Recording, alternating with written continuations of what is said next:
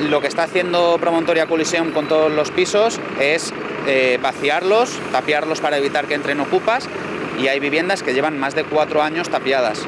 Por lo tanto, nosotros entendemos que se está haciendo un uso antisocial de, de la vivienda y lo que necesitamos es recuperar, recuperar ese uso. Lo que queremos intentar es que se paralice este desahucio, puesto que hemos intentado en varias ocasiones y por distintas vías poder tener un interlocutor válido con el fondo que ha comprado estos apartamentos para poder negociar eh, la renovación de los contratos de alquiler.